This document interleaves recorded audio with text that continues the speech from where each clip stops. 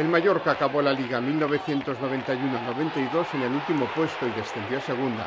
Cuando el Logroñés jugó en el Luis Sichar era febrero, pero aquel partido de la decimosegunda jornada tenía que haberse jugado en diciembre, pero fue suspendido por el mal tiempo. El primer gol a los 10 minutos, el rumano Estelea no acierta a despejar el balón, da en el cuerpo del capitán del Mallorca y Poyatos aprovecha el regalo.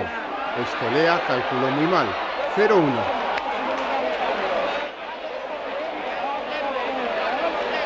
Otra clara ocasión de gol del Logroñés de Villanova, que a los 13 minutos había sustituido a Calleja, lesionado. 0-1 al final del primer tiempo. Reaccionó el Mallorca ya en la segunda parte, pero tardaría mucho en empatar. Con Álvaro Cervera, actual entrenador del Cádiz en la banda izquierda, mejoró bastante el equipo balear. El Logroñés apenas atacó después del descanso y fió toda su suerte a defender la ventaja que tenía con el gol de Pollatos.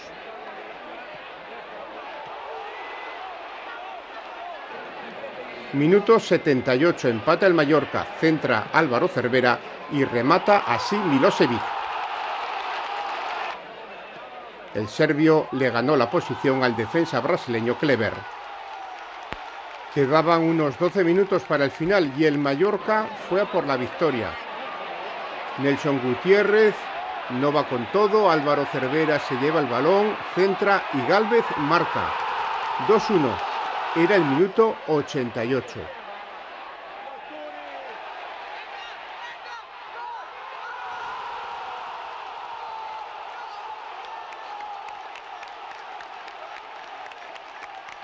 Aún hubo tiempo para que Logroñés empatara el taconazo de Póster y el disparo de Quique Setién que despeja Estelea. El Logroñés pagó caro su conformismo en Mallorca.